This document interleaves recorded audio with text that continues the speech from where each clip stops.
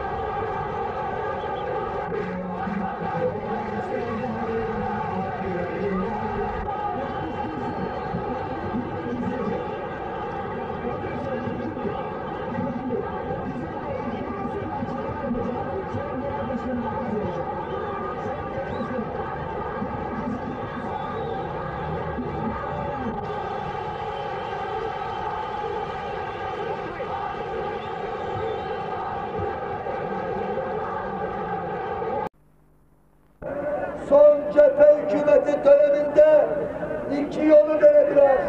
Hakkını almakla Türkiye gerçekten iyi Türkiye olur. Fabrikalarımızdan birçoğu elektriksizlikte duruyor.